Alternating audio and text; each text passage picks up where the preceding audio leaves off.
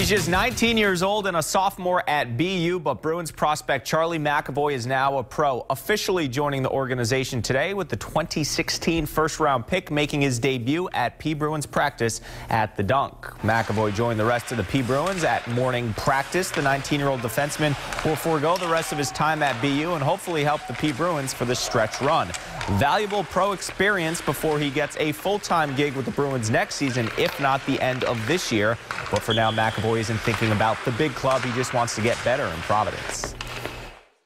There's an overwhelming amount of excitement for uh, you know for starting my, my pro career and you know beginning to, to work towards my, my dream. Since uh, last June when, when I was fortunate enough to get drafted here, you uh, you immediately become a you know a, a, Bruins fan, and I'm gonna have a lot of pride uh, the moment I put that, that game jersey on for uh, you know for my for my first time. Getting here and just playing, integrating into pro hockey you know, what's the game day routine. Um, and then when he steps on the ice, it's just time to play. And, and I want him to understand that, you know, to use the assets, the many assets he has, and not to try to play kitty bar the door.